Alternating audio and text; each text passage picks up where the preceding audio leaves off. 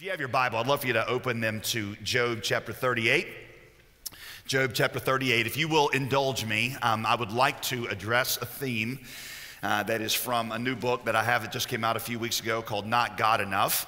Um, I will tell you that I always feel sheepish whenever I do some kind of um, something that connects to a book I've written because I've always thought that using a preaching platform to promote a book is a really, really, really tacky thing to do.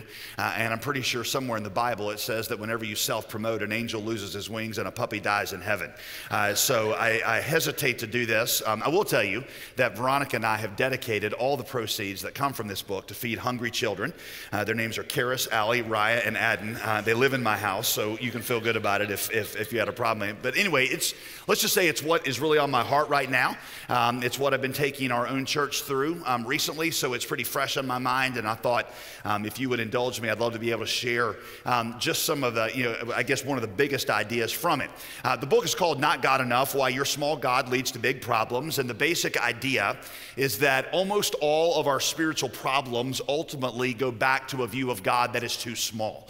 And what I mean by spiritual problems, I mean problems like doubt, apathy, unhappiness, insecurity, even jealousy.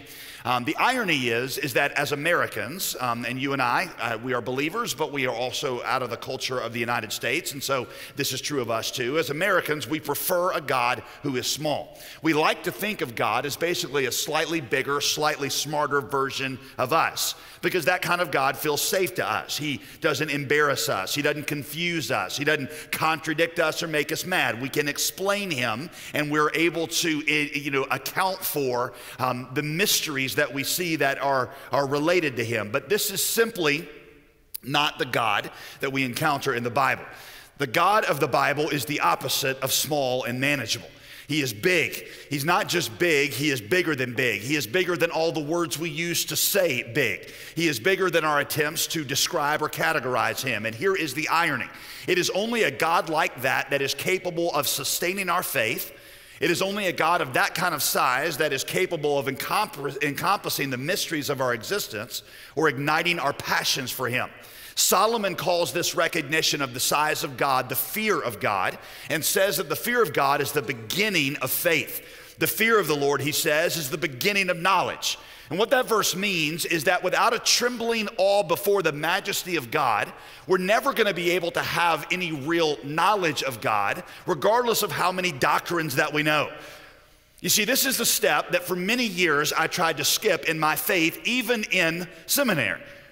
Now, this is not a, a really popular confession to make as a pastor, but throughout my life, throughout my life, I have struggled with belief because there were a lot of hard questions that I just didn't really feel like I had great answers for. I knew the seminary answer, and I'm not dissing on that. I knew how to give, you know, the Wayne Grudem answer to that particular question. Um, but I, I, just didn't feel in my heart like I really, I didn't feel like it was a great answer. Questions like, why is there so much suffering in the world? I, I mean, I understand that God can use a lot of the thing, bad things that happen for his good purposes. I get that. But what possible good could God have been bringing through the Holocaust? Or how does the concept of hell align with a view of a loving God? I mean, again, I know how to explain it. But how does it really? I mean, if I were God, would I have created a hell that my enemies would suffer in forever and ever and ever? Or how about this one? If, if Christianity is true, why do so few people, relatively speaking, why do so few people in the world believe it? And why isn't God doing more about it to get people saved? I mean, He's God, right? He can do whatever He wants. Why not just send out an angel to preach the gospel? You say, well, that's against the rules. Whose rules? Why couldn't God do that? Why couldn't God do a whole bunch of Apostle Paul kind of things where he just knocks people off their horses or out of their cars and reveals himself to them? I mean, if God can do whatever he wants, why didn't he get more involved? A couple summers ago, my family and I worked for a week with a group of Syrian refugees over in Turkey, and my eight year old daughter asked me um, after one of the days that we'd spent all day with this group of you know, refugees, she said, Dad, if God loves these people so much, why didn't he fix all of this? So I, you know, I said, I said to her, I was like, well, he is, sweetheart. You know, he's just using us to do it. Standard pastor answer, right? I mean, that's Pastor 101. Not satisfied, my eight year old daughter pressed back. She's like, but dad, why doesn't God do something about it himself? I mean, it's a fair question. Why not send that army of angels that we've heard so much about? And why not just make the war in Syria go away? You see, my guess is that maybe you've had some of these same questions, maybe others. Maybe you've wondered why God, maybe it's as simple as why God hadn't let your particular ministry take off, and you see a friend next to you that is half as smart and half as worthy as you are, but theirs is taken off, and you're kind of still, you know, putzing around just trying to get B's and C's in seminary and taking care of eight kids at a rural church. You know, may even after coming to a place where I, I, I believed, where I was solid in my belief, you know, and, and, by the way, that happened because I became convinced that there really was no other explanation for the life, death, and resurrection of Jesus Christ than the fact that, you know, he really was who he says he was. Even after that, though, eh, with these questions, I still had trouble loving God and feeling close to him. Uh, how do you feel close to a being that so bewilders you and confuses you? I mean, y'all, I wanted to love God. I mean, I knew how to stand up and be like, oh, as the deer pants for the waters, so my soul longs after you. And I knew people in our church who seemed like they loved God. There's a lady in our church that every single time she prays for me, she's on our prayer team, every single time that she prays for me, she, or talks about God's grace, she tears up. And I'm sitting there, I'm like, I don't know why I don't tear up when I talk about God's grace. Sometimes it just feels so cold and clinical. And I knew how to act the part. I knew how to, you know, kind of squint my eyes and, and, and, make that I'm spiritual too face when, you know, people are saying things, how to grunt, you know, like seminary people learn to grunt. I knew all those things. Um, I knew how to act the part, but a lot of times, I'm just telling you, the emotions weren't there. You see, I've come to see that one of my primary problems in all of this, and all of it, was a conception of God that was too small. It was actually comforting to me that as I read the Bible, I was relieved to see that lots of people in the Bible seem to have the exact same struggle that I did. You know, it's amazing when you just take a step back and consider, and I promise you I'm getting to the book of Job here in a second, but it's amazing when you step back and consider how many of the greatest saints in the Bible doubted and doubted severely. I mean, like Job, that we're going to look at here briefly today. I mean, you know, Job, God calls him the righteous, most righteous person on earth at the time.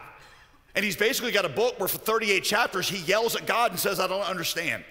Or how about King David, the man after God's own heart, who repeatedly complains in the Psalms?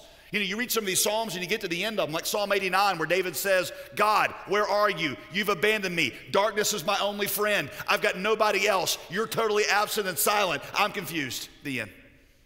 I, I can't remember the last time we sang that psalm in our church, at least. I mean, it's just, David, John the Baptist, whom Jesus called the greatest preacher ever to live.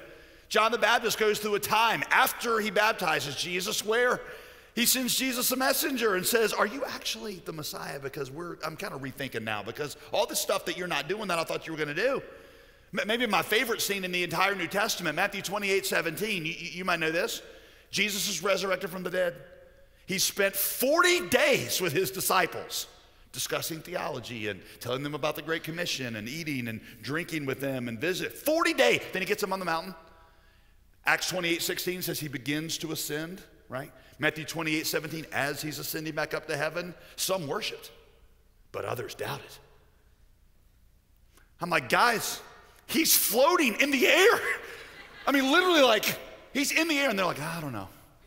I'm not sure. I, I saw the David Blaine special. I'm just not, I'm not sure that that uh, means what it, how would they doubt in a moment like that?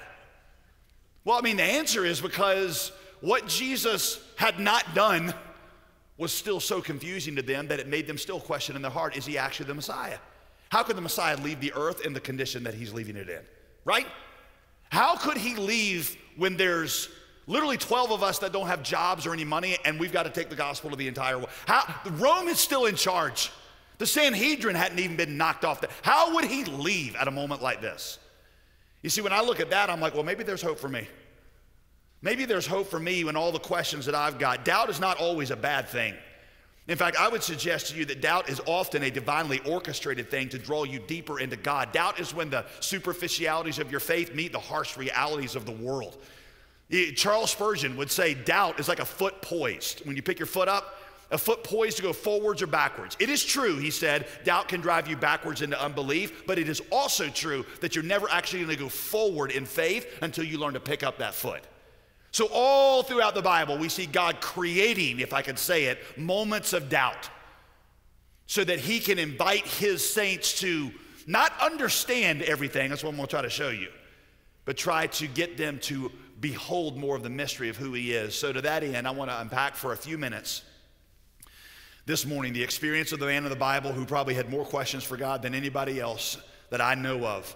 In fact, his name has become synonymous with confusion and doubt, and his name, of course, is Job. We're going to be in chapter 38, so let me just give you a quick rundown of chapters 1 to 37. First thing I'll, I'll point out is we don't know much about Job at all. He's said to be from the land of Uz. Scholars ask, Where is Uz? And not a single one of them knows. Uh, they assume you got to follow the yellow brick road to get there, but that's about all they know. Furthermore, we do not know what time period Job lives in or even what nationality he is. We do know that he's not an Israelite because he doesn't have an Israelite name.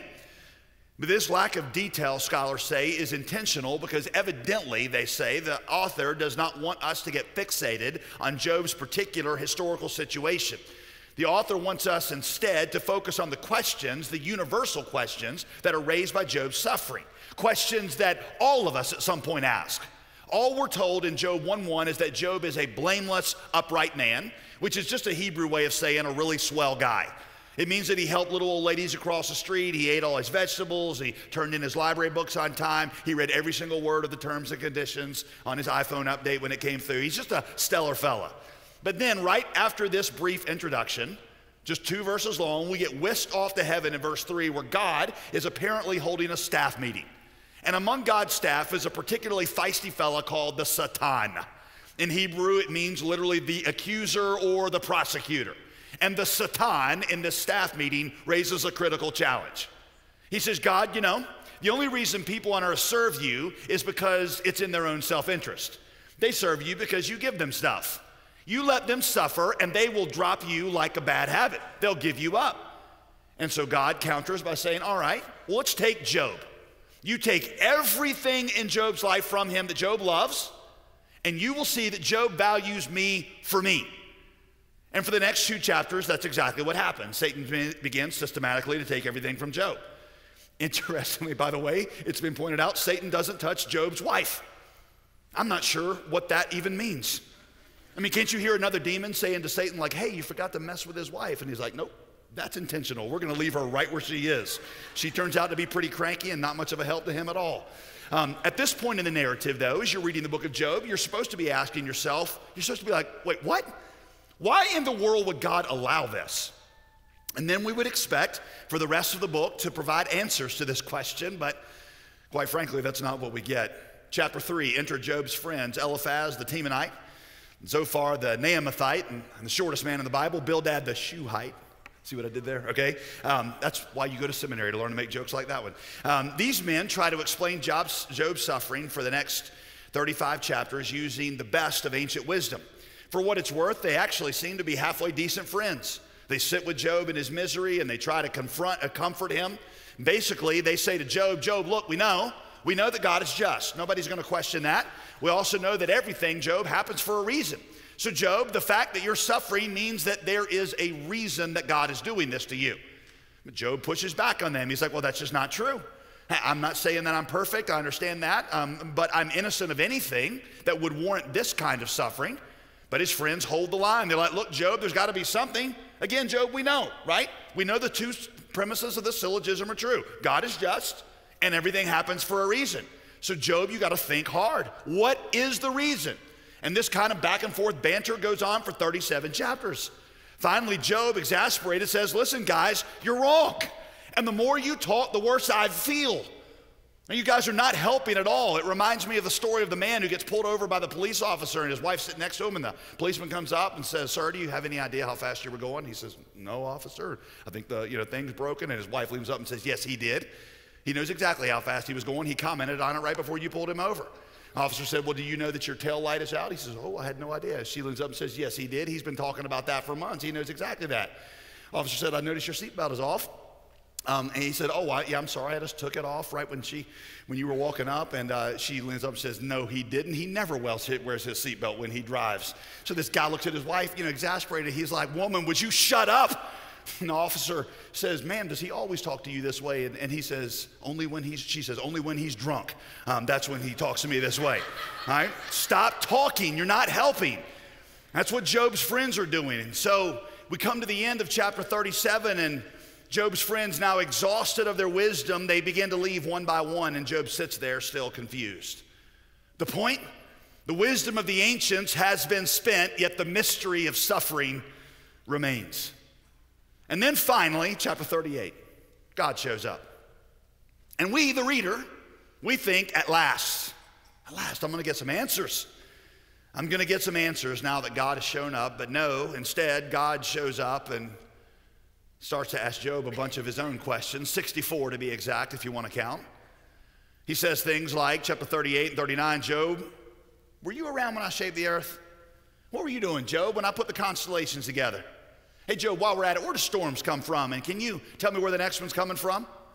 And then mixed in these kind of big questions are some really, honestly, just odd random ones, like chapter 39, verse 1. Joe, how much do you know about the reproduction habits of goats? Or how about this one? Um, chapter 38, 13. Job, why are ostriches so darn ugly? Can you tell me the answer to that, Job? And, you're reading this and you're thinking, okay, I get the big questions, the stars questions and that kind of thing, but what, what, what, what, what the reproduction habits of goats, what's that got to do with anything? The point of all these questions is simply to show perspective. God is saying to Job, Job, if you can't even fathom all the mysteries behind natural things, you really in a place to understand eternal things? You see, the assumption that Job and all of his friends have been working off of is that they actually know enough about the world to analyze and understand God's ways. And Job even thinks if God would just take a minute and explain this to me, then I might understand. But God says, actually, Job, your perspective on the world is quite puny. Mine is huge. You don't even understand simple things like constellation creation or ostrich ugliness. And if you don't understand the mystery behind finite things like this, do you really feel like you're in a place to hold court on me? You see, to understand infinite justice, you've got to have infinite perspective. And so, chapter 40, God says, While we're at it, Job, would you really like to run the world for a day? Would you really like to punish every little act of injustice in every instance? Do you know, Job, how many different things are happening in the world at one time? How many different things are interconnected? Reminds me of that scene from Bruce Almighty where God lets that shining star of theological brilliance in our culture, Jim Carrey, you know, play, play God for a day. And all these prayers are coming in, and, you know, basically he, he gives up because like, there's no way to keep up with everything that's happening. And how do you answer this prayer when this prayer contradicts with this prayer over here? And you answer this and this changes over there. At the end of chapter 40, God basically says, This is quite a bit more complicated than you thought, isn't it, little man, little Job? Then the book ends. Just put a period right there. We're told that God ends up restoring everything to Job sevenfold, but we never really get satisfying answers to the question of why all this happened in the first place. Neither does Job.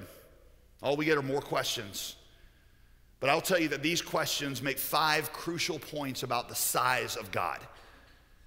Here they are. Here's basically, if you were taking those 64 questions and boiling them down, these are the five things that I think are being taught there. Number one, God is saying to Job, Job, my power is sovereign.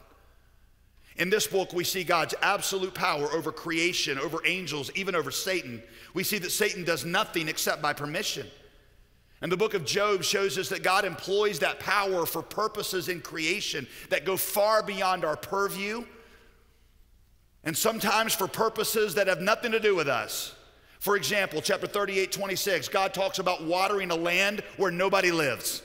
He reminded me of, and this may be where C.S. Lewis got it. C.S. Lewis in Mere Christianity talks about explorers coming across a new continent that man has never discovered before. And in this, on this continent, they see species of flowers that are so beautiful that nobody's ever discovered before. And Lewis's question was, all these flowers existed for however many thousands or tens of thousands of years before man ever saw them. All this beauty, nobody saw it. Why would God waste all that beauty if no man was ever going to see it? And Lewis's answer was God does some things entirely for himself. God is the most important audience of everything that He does. The point is that not everything in creation is for man. Sometimes God does things solely for Himself. You see, the one thing we do know about Job's, Job's suffering was that its ultimate purpose was to bring glory to God. God was using Job's suffering to demonstrate his glory to Satan and all the angels, and that was even more important than things in Job's life working out the way they were supposed to. And I know some of us hear that and we say, well, that's a hard thing to live with. It's a hard thing to live with that God might be putting me through suffering for His glory, but I am promising you that is the key to a secret, the secret to a happy and fulfilled life. When you come to really grasp that you and all the world exist for God's glory, when you realize that, you start to find a joy and satisfaction you've never known because you were created to live for something that was much bigger than yourself, not your purposes working out, but God's glory being known on the earth. Number two, God says to Job, My perspective is infinite. The climax, uh, climax of God's argument comes in chapter 42 3, when God says to Job, Who is this that dares question my judgment without knowledge? Job, if you don't even understand the mystery behind natural phenomenon like storms and stars, Job, are you really in a place to understand the purposes of the eternal God behind those things? There's a problem I know that you've heard about. It's called the problem of evil. When I was a PhD student here, we learned it was first stated in its form we have it today by a philosopher named Epicurus. Although I think you can see it here in Job, which predates Epicurus, 5th century BC. Basically, the idea is this if God is all loving, then he would want to stop suffering. If God is all powerful, then he could stop suffering. The fact that suffering exists means that God must not either be all loving or all powerful. Therefore, God could not exist. It's a very strong syllogism, and for years it's been what especially atheists bring forward as kind of the proof that God really couldn't exist because suffering, if God's loving, he'd stop it. If he's powerful, he could stop it. It exists though. Well, what you see from Job is that that syllogism is missing a very crucial premise, and that premise is this if God is all loving and God is all powerful, then it follows that God would be all wise as well. And so the thing that you got to get your mind around, if you can, is that if God's wisdom is as high above my wisdom as God's power is high above my power, then wouldn't it make sense that there are a lot of things that God might be doing that I might not be able immediately to perceive? I think of it like this if you'll do a thought experiment with me about just how much higher God's power is than yours. Think about how much power it would have taken, just go with me here, to create just the known universe.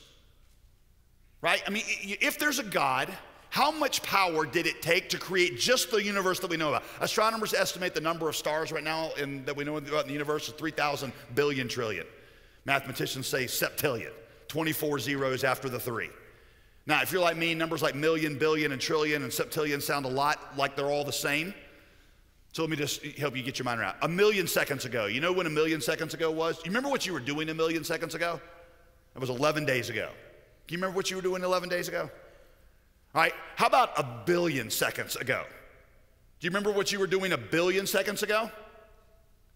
All right, well, a, a, million seconds ago was 11 days. A billion seconds ago was 31 years and eight months ago. Some of you, of course, can't remember what you were doing then because there was no you to speak of. It was sometime in the mid 1980s. The compact disc player had just been released. Rambo was saving our world from certain destruction. The Jedi were returning for the very first time. Right, that's a billion seconds. How about a trillion seconds ago? How long do you think a trillion seconds ago was? 300 years? A couple centuries back? A trillion seconds ago was 29,672 BC. And the first Rocky movie had just come out, I think, if, if you want to date that that way, all right? Now, I want you to put, I want you to understand that there are 3,000 billion trillion stars, each of them, they say, putting out on average the same amount of energy every second as a trillion atom bombs, every second.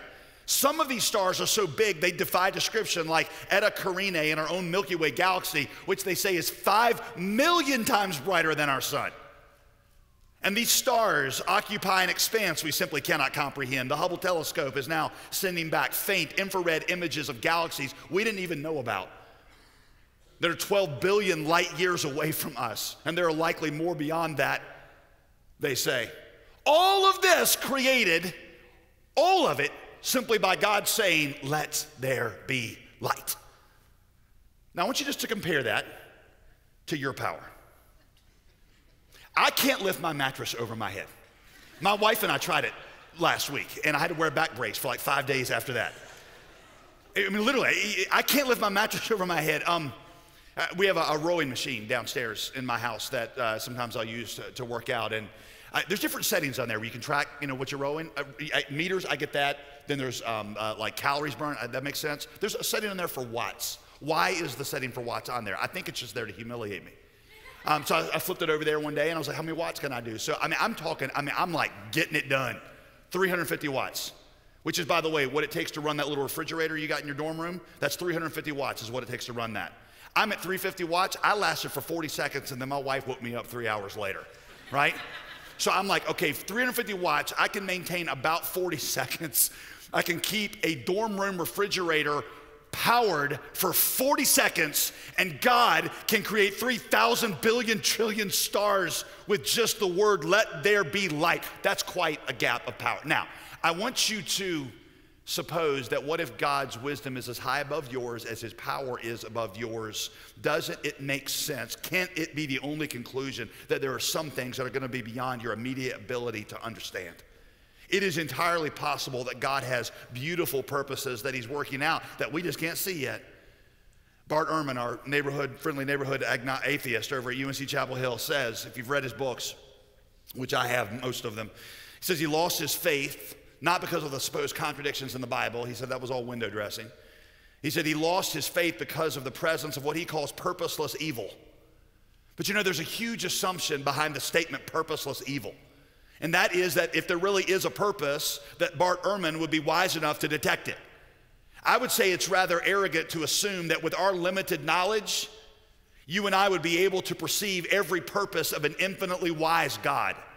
One of our core problems as a race is that we don't think of God as that much bigger than us.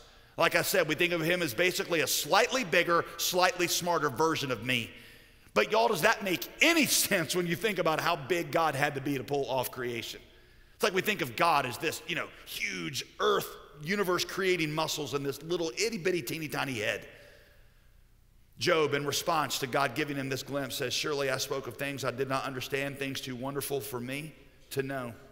In other words, my problem was not that I didn't understand, it's that I didn't realize how dumb and how limited I was. What I see now is how big you are, and I realize that my primary problem was I had the wrong posture in my questions. Your questions are great, ask them. God invites you to ask them, but have some sense of the magnitude and the wisdom of the God to whom you're asking them. Number three, my purpose is guaranteed. My purpose is guaranteed. One of the most encouraging things in this book is we see that God's power is sovereign and his perspective is infinite, and thus even Satan's attempts to attack God's people only further God's purposes. Y'all think about it. All of Satan's best attacks on Job yielded a book that has provided encouragement to countless believers down through the centuries. Do you really feel like that's what Satan had planned when he started this process? This book is a big old gotcha right in Satan's face. Don't we see that all throughout Scripture? Satan's strategy to defeat the sons of God only serves to provide greater salvation for the sons of men. Don't you see that in the book of Acts? Seems like every attempt by Satan to stomp out the church just leads to its expansion. The best illustration of that is the cross. If there were ever a moment where it looked like Satan had won, it was at the cross. Yet it was at that very moment God was providing salvation for the human race. God took the worst day and he turned it into the best day. Believer, don't you understand that God is doing the same thing with your struggles? And what you are going through right now, God has a purpose. You may never quite understand it, but His purpose is bringing glory to Himself and the nations. And that dark day you may face in seminary is because of something that God is intending to do in somebody around the world. And if you think about it, you can probably already see some of the good things that are behind what God is doing. I think of the words here of British journalist Malcolm Muggeridge. Contrary to what I would have expected, I look back now and experiences that at the time in my life seemed especially devastating and painful with particular satisfaction. Indeed, I can say with complete truthfulness that everything of value that I've learned in my 75 years in this world, everything that has truly enhanced or enlightened my existence has been through affliction and not through comfort and ease. You can probably already see that, can't you? You can look back in your life and see how in some chapter that God was actually doing something good. The perspective of Job is this if already you can look back and see a good purpose for some of the suffering in your life, don't you think that given infinite time and perspective, you'll see a reason for all of it? You see, a lot of times what God is doing, He's doing in you. You got to get your mind around three different kinds of suffering that take place, all of which we see occur in the Old Testament with guys, the, I call them the three Joes of the Old Testament. Sometimes suffering is there to chastise us and bring us back. That's Jonah. Right? Sometimes the suffering is happening in our lives so we can work salvation in other people. That's Joseph. Sometimes suffering is happening just so God can make us love him more and stand more in awe of him, and that's what we see in Job. Suffering is how God shapes you for himself and for the ministry he has called you to. Martin Luther, one of my favorite authors, said, As soon as God chooses you, you better be ready because he's going to let the devil afflict you to turn you into a real doctor of the word. Luther said, it's one of my favorite statements by him I credit the devil, the Pope, and all my other persecutors with my deep knowledge of the word. Through the devil's raging, they've actually turned me into a fairly good preacher, driving me into the depths, gospel to depths I never would have reached without their afflictions. See, that's what the gospel is all about. Satan's strategy to defeat the sons of God only serves to provide salvation for the sons of men. Believer, I can promise you that's what he's doing in your suffering. Number four, he says, My promise is everlasting. My favorite verse in this book, hands down, is chapter 19, verse 25. You know it? I know that my Redeemer lives and that in the end he will stand in, on the earth. A few things about that verse. In the end, that means in eternity. The last scene in the book of Job is God restoring to Job sevenfold of all that he had lost. Seven, of course, in Hebrew is a picture of eternity. So, in this scene, we're given a glimpse of what eternity is going to be like when God restores to us all that we've lost and overflow us with perfect joy. Psalm 16 11, in your presence is the fullness of joy, and at your right hand are pleasures forevermore. Fullness of joy means joy that could not get any stronger. Last forevermore means it could not last any longer. I mean, think for a minute how long is eternity? Whatever it is, the whole life you've lived up to this point is going to seem like just the first few seconds of a never ending, glorious day. Your whole life will be like a brief ellipsis compared to the expanse of eternity. And that means there's literally nothing, not even things like the Holocaust that we go through on earth that really make that significant of a dent on eternity. Mother Teresa said that compared to eternity, the worst things on earth are like nothing more than one bad night in a cheap hotel. You ever stayed in a cheap hotel? My family has. We've tried to cut corners, and I would never advise that. I stayed some over. I stayed one overseas where we took the cheaper option, and in the middle of the night, a scorpion like walks across the, you know, the floor. And I thought we should have paid the extra three and a half dollars to stay in the nicer hotel. One bad night in a cheap hotel, it's, it's painful when you go through it, but now you just look back and you laugh about it. You see, recognizing that is the key to coping with suffering in this life. C.S. Lewis said, if you look at this world as a place to find happiness, you'll always be miserable and confused. Always. But if you look at this world as training ground for the next, then you'll find purpose and joy. So leads me to the last one, number five. My presence is pledged.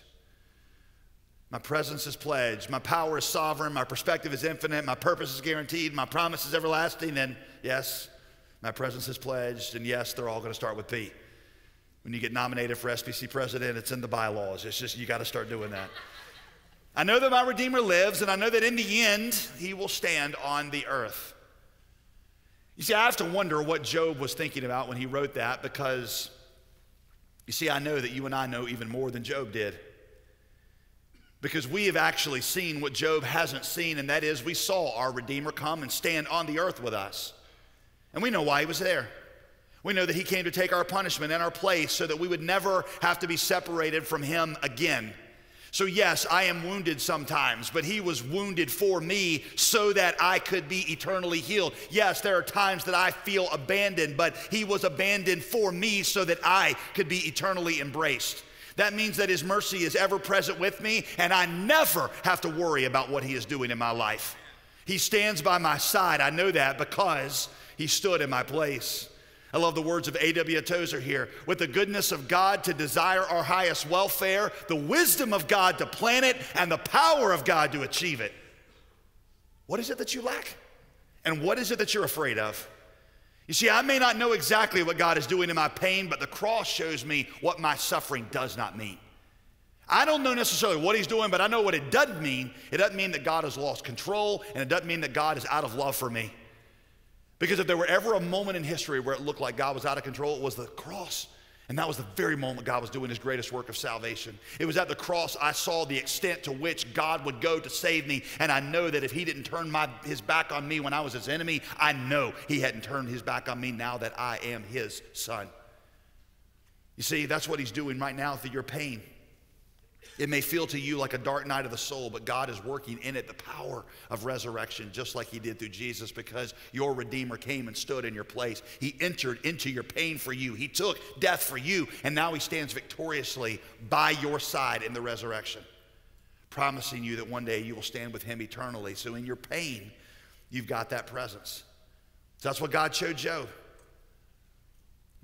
Understand this Job wanted explanation for why he suffered, he never got it. What God gave him instead was a revelation of who he was. And it's when Job saw that that he was satisfied.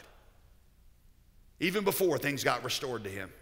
In fact, when God finally appeared, Job was so busy repenting, he didn't have time for any further questions. All of his rage and his confusion was directed at himself, which is a picture of what you and I will be like in eternity.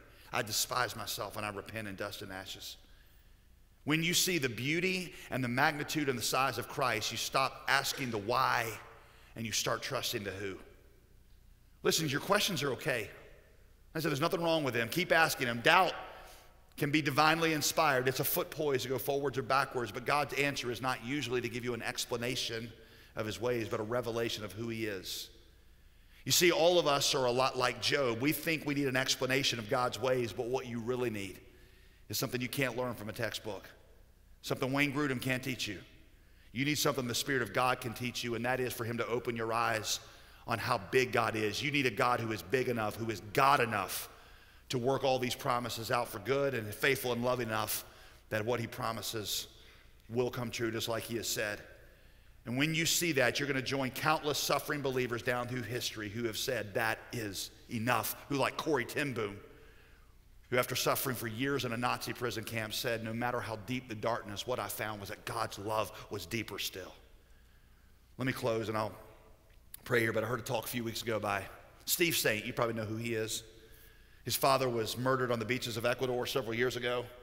There was a particularly hostile tribe there called the Auca Indians untouched by civilization. Five men, now known as the Auca Five, Jim Elliot, Nate Saint, Roger Youderian, two other guys tried to establish contact with them, and they were all murdered.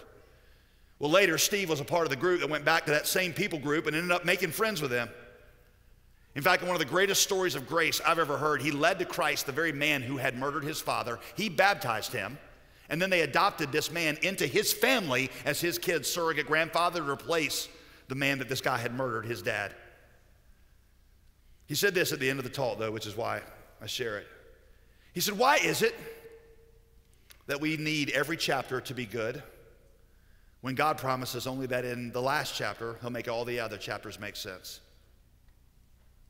That's the message of Job. You might be in a chapter with Job, but believer, I can tell you, I can tell you that your Redeemer lives. See His power, His love, His control, and know that He lives, and that'll be enough. That'll be enough. Riches I heed not, nor man's empty praise. Thou, my inheritance, now and always. Thou and thou only, first in my heart, high King of heaven. My treasure thou art. Let me pray for you. Got to pray first. Just in going through this, I've realized again how dull my heart is. God, how my head is full of knowledge, but my heart is woefully behind of worship. God, open our eyes to see how big and how wide and how deep are the love is the love that you give for us and the promises that you extend to us. God, give us things that seminary can't teach us, things that only the Spirit of God can teach us. I pray in Jesus' name. Amen.